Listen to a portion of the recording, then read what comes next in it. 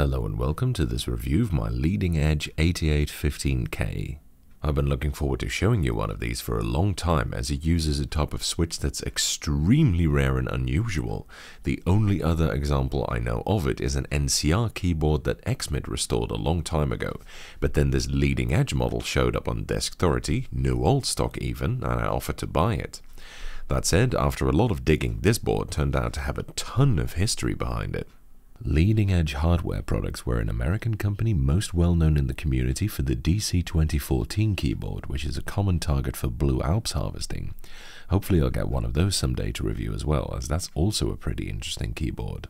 The 8815K appears to be the keyboard that came with the very first computer leading edge ever made, the ironically named Model M after Mitsubishi, who supplied their parts.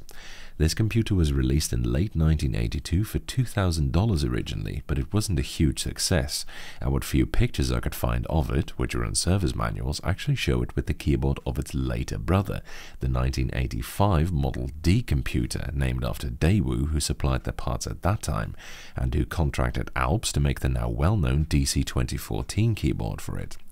That said, when Leading Edge couldn't supply the Mitsubishi dealers with their hardware, they sued, and Leading Edge went bankrupt and was subsequently acquired by Daewoo as early as 1989, despite the huge success of the Model D computer.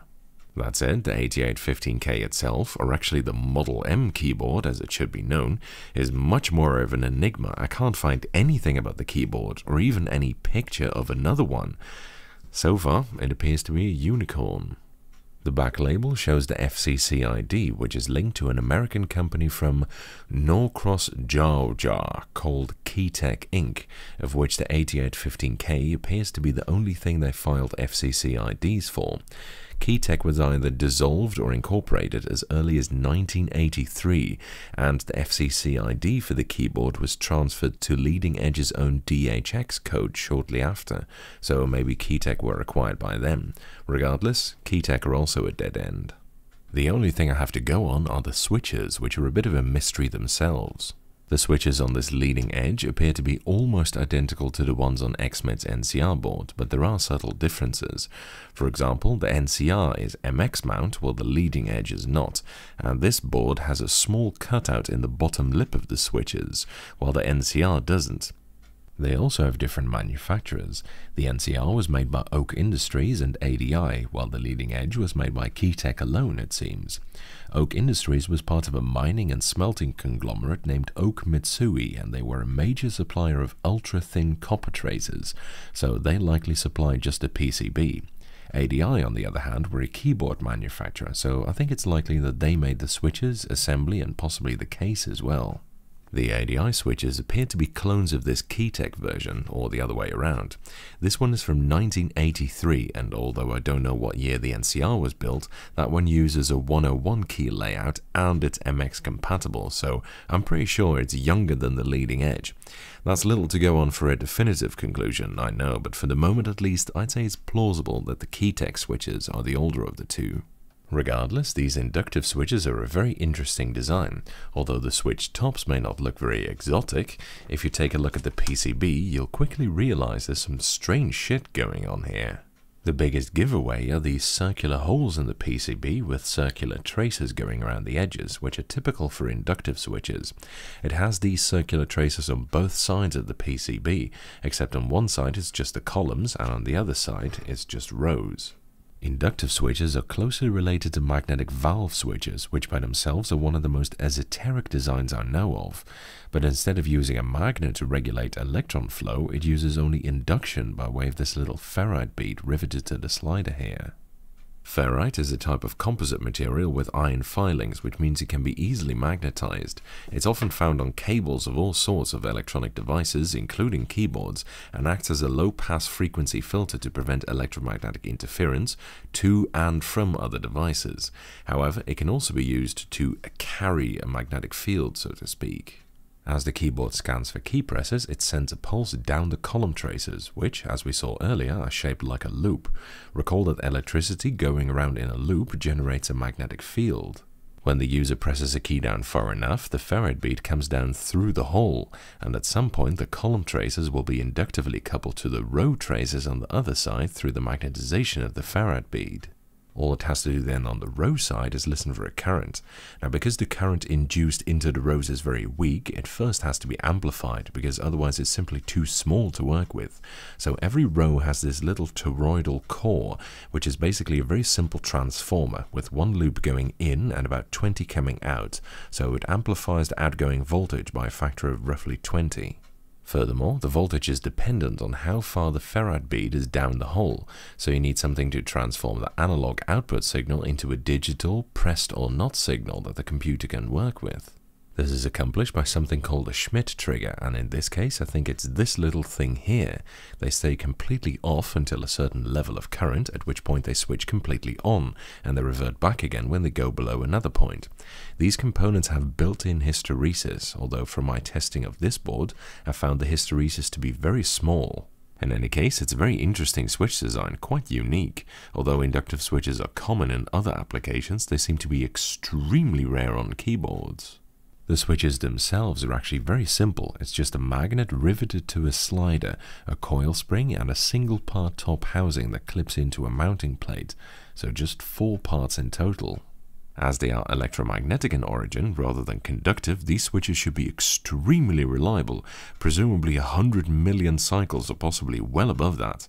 Also, they have inherent N-key rollover, which is nice of course. And furthermore, because they're contactless, they have the potential to be very smooth. Well, actually, that's kind of where it falls short, because to be honest, the switches, which are rather stiff linears, are not smooth at all. They bind really badly and they feel scratchy.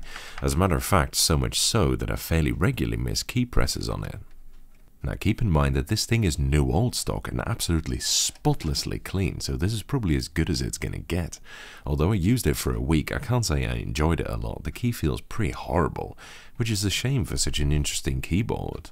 The actuation also happens rather far down, and because there's so little hysteresis, I found that it's fairly easy to accidentally let go of a key you're trying to keep depressed.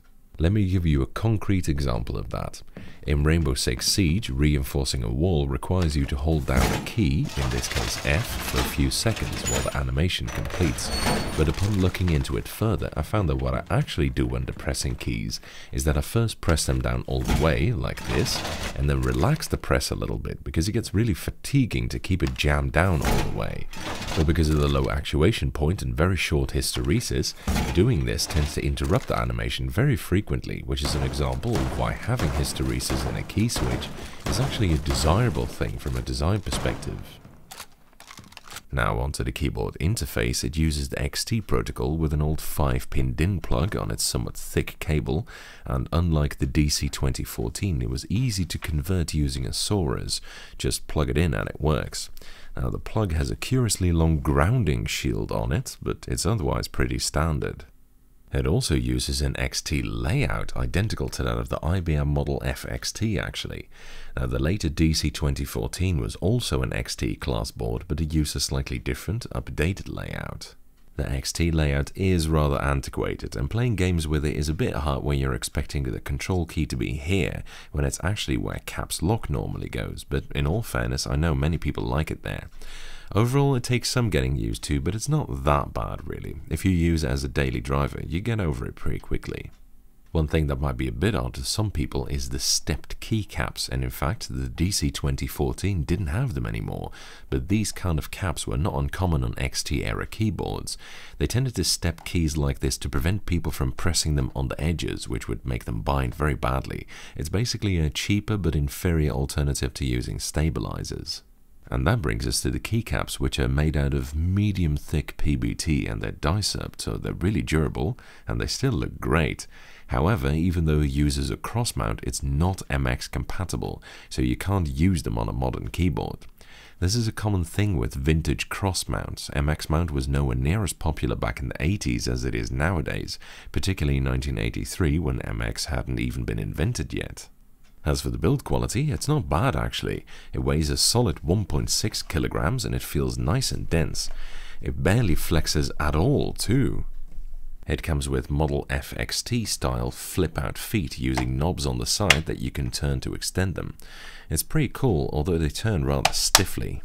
And finally, I just think it looks pretty good, you know, with that cool looking leading edge logo in the top left and a nice, stylish, classy case and design. It has something very elegant to it. Nice. Overall, it's an extremely interesting vintage relic with some mystery and history behind it, and really cool switches, and it's easily convertible too, but still, I'd say it's not very nice to use at all. Sure, it's got inherent N-key rollover, and the layout is not that bad when you get used to it, but they just bind so badly and they're unreliable enough at registering properly that using it is more annoying than rewarding, and it's quite stiff to boot. But as a collector's item, I love it. That's it for this review. Thank you for watching. I hope you enjoyed it. And following is a typing demonstration of me typing on this keyboard.